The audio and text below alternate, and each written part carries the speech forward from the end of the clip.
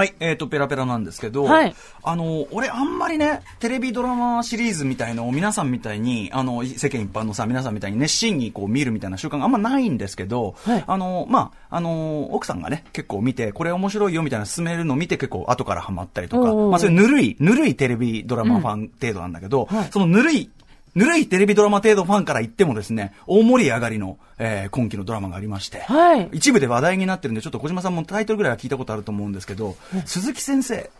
あ、ツイッターでね、はい。ちょっと知人がつぶやいてるの見てて、はい。え、誰のことだろうと思ってたの、鈴木先生。まあ、この番組でも作家に入ってる瀬野、ね、正雄さんなんてもね言ってたりしましたけど、つぶやきではい。で、歌丸くんはどうせ見ていないだろうってつぶやいてるから、見てますよっつってメールを送ったりしたんだけど、あの、という鈴木先生、見てないですか？じゃあ。小島さんは。うん。あのね、でも小島さん、は結構見た方がいい、良かったんじゃないかというか、見てほしいと思う感じの内容かも。えそうだったんだ。と思うので。え悔しいな。えっと、今週の月曜日の27日に最終回だったんですよ。へー全10回で、はいえーで、といっても僕もね、だからその、ぬるいテレビドラマファンだから、あの、面白いよって言われて見出したのは4回目からなんでね。うんそういう、そういうぬるい人なんだけど、あの、でも4回目から見て、うわ、これ面白ってなって、えー、まあ見まくっていったと。先生の話。先生の話。元は、えっと、漫画なんですよ。えっと、漫画アクションでずっと連載されてて、あの、文化庁メディア芸術祭漫画部門優秀賞とか取ってるような、うん。まあ、評価はされてる漫画。はい。で、それのドラマで、えー、で、あんまりね、なんかね、その、すそのつぶやきであったのは、そんなに視聴率がそんなじゃないみたいな。俺それ意外で、その、見ててさ、その面白いよって勧められてみたのもあるから、で、見て面白かったら、あ、これよっぽどね、あちこちで話題になってんだ、ちくしょうと思って、俺がわざわざ話題にすることもねえやと思ってたんだけど、いや、なんかその、そんな視聴率がそれほどじゃないなんて聞くと、あ、それはちょっともったいない。あの、っていうのは、一つにはあんまり有名な人が出ていないというか、そんなに派手なキャスティングじゃないっていうのが、えー、あるのかなっていうのはあるんですね。主演のがですね、えっと、長谷川博己さんという、まあ、だこれ主演初めてなんだと思うんですよ。うんまあ、あの、えー脇役なんかではあちこちドラマなんかでも目立ってる人でしたけど、長谷川博己さんが初めて主役。わかんないでしょ？だって話。多分顔見れば多分、あの、メガネかけたシュッとした美形の人なんですけど、うんはいあと、まあ、富田靖子さんとかね、これ富田靖子さんがね、愛子16歳がこんなこ演技しちゃうか？寂しん坊がこうなっちゃう、寂しん坊をこじらせるとこうなっちゃうか？みたいな、えー？恐ろしい演技を見せていたり、ホラー的なね、えー。演技を見せてたりとか、あとはですね、まあ、ぐっさんとかね、うんえー山口とも、えー、ひろさん、えーとか出てたりとかって感じの、まあ、そのぐらいなんですよ。あんまり派手なキャストじゃないっていうのがあるんだけど、うんと、まあ、むちゃくちゃ面白くて、でですね、あのーどんぐらい面白いかっていうと、ちょっと僕極端な、もう昨日最終回見て、あ昨日じゃない、月曜日、えー最終回があって、録画をようやく昨日見たんですよ。うん。最終回の録画を、あのね、ちょっと極端な言い方をすれば、まあ、教、教師ドラマ、学園ドラマいっぱいあるけど、一、人の教師像にある教育観みたいなものを、えー託して、それを伝えようとする教育ドラマという意味では、それこそ、金八以来のエポックなんじゃねえのかな、この先生像。えー？って思うぐらい。あの、えっ、と気になる、教育ドラマいいものいっぱいあるんですよ、もちろん。僕、あの、例えば、うちの子に限ってとか、ものすごい好きだったんだけど、あの、あれはほら、先生が人、前に出てくるタイプのドラマじゃなかったんですよ。うんそうですね先生像にその教育観みたいなのを託したドラマって意味で言うと、で、その教育観の、なんていうのかな、まあ、新しさっていうとちょっと語弊があるけど、教育観に、ああ、なるほどって思う感じ。金八以来じゃねえのかな、これ。っていうぐらい。だからこれ絶対、その、この時の視聴率はどうかわかんないですけど、そう語り継がれてくるドラマになるんじゃないのかな、ぐらいに。ちょっと見たいな気になるなで、まあ、どんな感じかと言いますとですね、は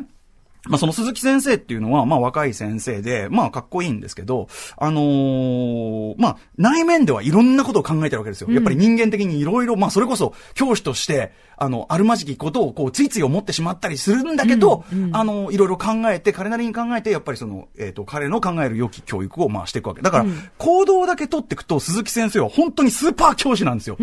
こう見、見ながら、あのね、ポイントとしては俺見ながら、ものすごい大声で意見を言っちゃうんですよ。見ながら、ああ、その、例えば生徒が、まあ、その、このね、中学生たちがまた絶妙なの。絶妙な中学生感。あのー思春期特有の手前勝手な理屈をまき散らした挙句、泣き崩れる時の、醜い泣き、泣き崩れ感とかがリアルで、うんあ、こういう、俺もこうだったし、こういうやつ周りにいたし、そして今もいるのであろうというような、で、そういうのを見ながら、こう、もうすっかり、中学生気分っていうか、もう同じレベルで、何勝手なこと言ってんだよとか、余計なお世話なんだおめえはよとか、先生に文句言っちゃう。いや、先生とかその生徒たちの言い草で、もう鈴木先生、その、いもう、こんなん言っちゃって殴っちゃえよ、こんなのとか、余計なお世話だって話じゃんよとか言ってんだけど、そこで鈴木先生がさ、もう教師として、もう、もちろん本人的にはね、あぶ、ヒヤヒヤしながらとか悩みながらなんだけど、もう非常にある種理想的な行動をとって、で、いい結果をこう導いていく。で、こう見ながら、これはスーパー、これスーパー先生だよね。鈴木先生はスーパー先生だよ。みたいなことを言いながらも、うん。もうすごい納得させられていくというのがあって、まあそれに対抗して、要は昔ながらのいわゆる厳しい先生というか、カチッとした、えー教育観を持ってる先生として富田康子さんがいてうんうんうん、で、まあ対立というか、対立というか一方的にその富田康子の先生が鈴木先生のやり方に、そっちがうまくいっちゃってるから、で、どんどんどん妬んじゃって、どんどんどんどん、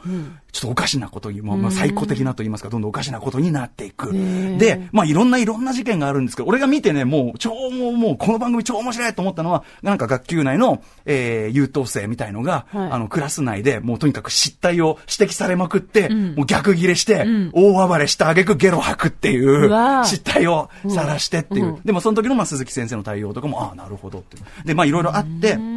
で、クライマックスは、まあ、鈴木先生がある、まあ、なんていうんですかね、中学生の特に、まあ、思春期のその、いろいろ思う、こう、女子なんかだと不潔っていうような、あることになってしまう。で、それをもう吊るし上げして、しする展開になっちゃうわけですよ、クラス全員で。それに対して、ね、他の教師はそんな吊る生徒から吊るし上げなんてとんでもないって言うんだけど、鈴木先生は、こう、彼らの意見を、まあ、そこの迎え撃つわけですね。はい。で、そこで浮かび上がってくるのが、まあ、あのーあんまりネタバレになるよ、ならないように言うけど、まあ、これからさ、世の中、はい。日本さ、ええ。まあ、例えば原発の件とか何でもいいですけど、大人だってね、様々な立場、様々な意見が、もう絶対に一見相入れなさそうな、た立場とか意見が対立しまくる、もっともっとそういうもう、あっちこっちでそういうぶつかり合いとか、ギーってなっちゃう場面が増えるってく、これからの日本において、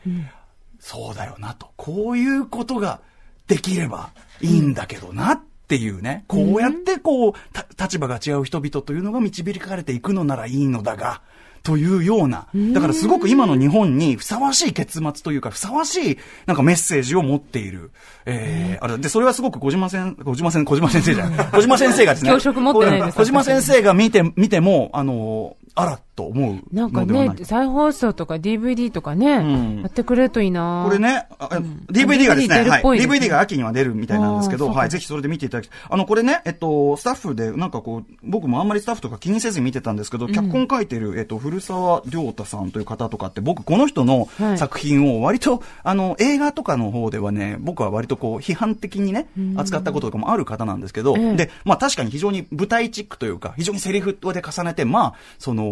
セリフでどんどんどんどん重ねていくスタイルなんだけど、これに関してはものすごく、それがうまくいっているというスタイルだと思いますし、何しろね、あの、セリフもものすごく多いんですけど、それ以上にやっぱその俳優陣、特に中学生たちのもう、見事すぎるキャスティングと演技。ーこんなリアルな中学生たちは、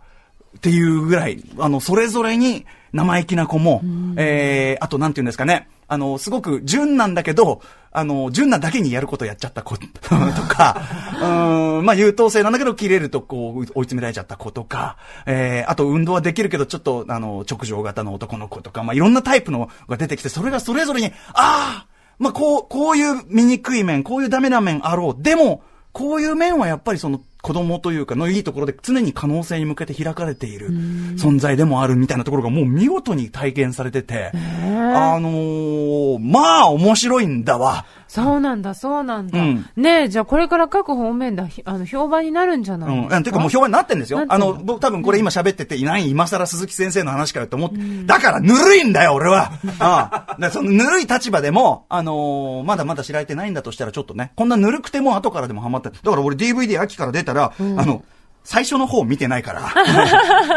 類推とかして見てたから。えー私も見てみますあのうんそんなねあの、たった10話だから、はいあっという間に見れると思いますし、はいえーっと、なので、えーっと、ぜひぜひちょっと DVD が出たらですね、皆さんちょっと見てみてはいかがでしょうかと。鈴木先生鈴木先生、はい。えー、非常に面白かったです。教育ドラマのこれ、エポックになるんじゃないかと思った。という、ぬるい、ペラペラでした。